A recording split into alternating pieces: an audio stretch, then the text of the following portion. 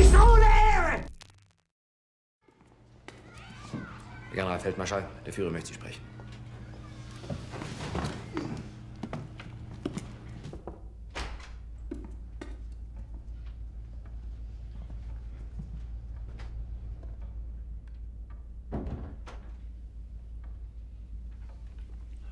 Hören Sie zu, Keitel. Ich möchte, dass Sie noch heute Nacht abreisen. Begeben Sie sich zu Dönitz. Helfen Sie ihm, alles zu organisieren. Es muss wieder Schwung in die Sache. Ich verstehe nicht. Wir haben keine Ölgebiete mehr. Das ist katastrophal. Weil es jede weitgreifende Operation unmöglich macht. Wenn ich die Geschichte hier erledigt habe, müssen wir schauen, dass wir die Ölgebiete wiederbekommen.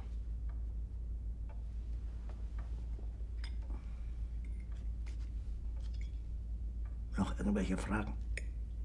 Nein, Führer. Gut. Also dann gute Reise.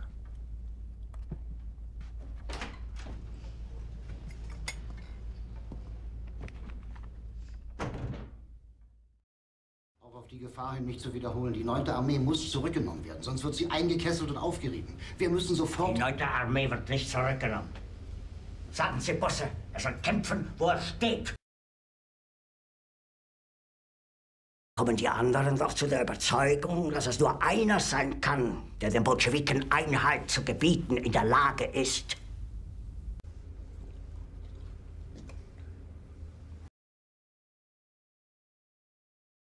Mein Führer, dann ist die 9. Armee verloren. Von Norden her angreifen und sich mit der 9. Armee vereinigen. Die 9. Armee ist nach Norden hin bewegungsunfähig. Die Feindkräfte übersteigen unsere Mannschaften um ein Zehnfaches. Wie lange können sie noch halten? Schlage ich hier erfolgreich und halte ich die Hauptstadt. Den letzten Mann dafür einzusetzen, das ist unsere Pflicht.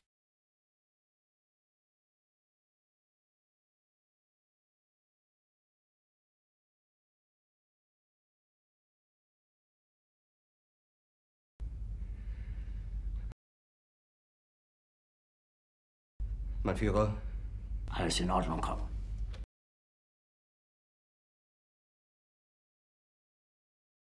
Mit welchen Kräften, mein Führer?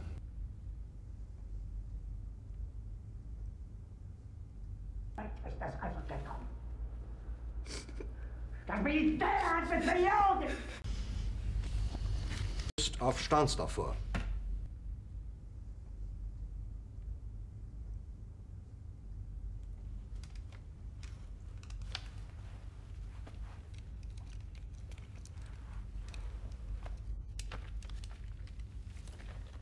Aber mein Führer, die 12. Armee marschiert nach Westen, Richtung Elbe.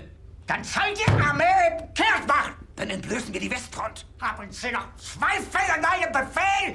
Ich glaube, ich habe mich klar genug ausgedrückt!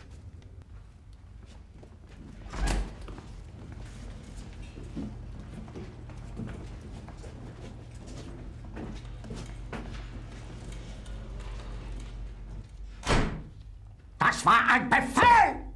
Der Angriff Steiners war ein Befehl! Dass Sie es wagen, sich meinen Befehl zu widersetzen! Die gesamte Generalität ist nichts weiter als ein Haufen niederträchtiger, treuloser Feiglinge! Mein Führer, ich kann nicht zulassen, dass die Soldaten, die für Sie Nicht verbringen... als Feiglinge! Verreiter, Versager! Mein Führer, was Sie da sagen, ist ungeheuerlich. Die Generalität ist das Geschmeiß des deutschen Volkes! Sie ist ohne Ehre!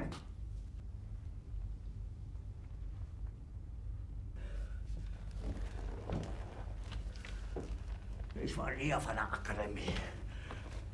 Und doch habe ich allein, allein auf mich gestellt, ganz Europa erobert.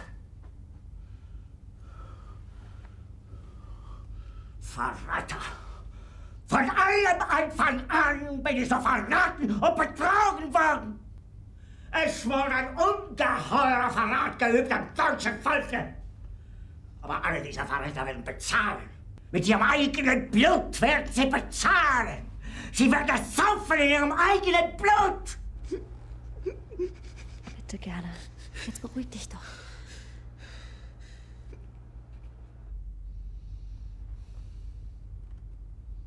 Meine Befehle sind in den Wind gesprochen. Es ist unmöglich, unter diesen Umständen zu führen. Es ist aus.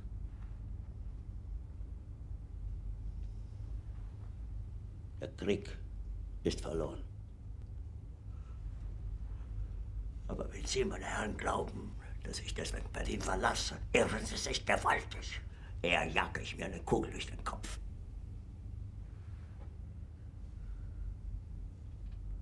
Tun Sie, was Sie wollen.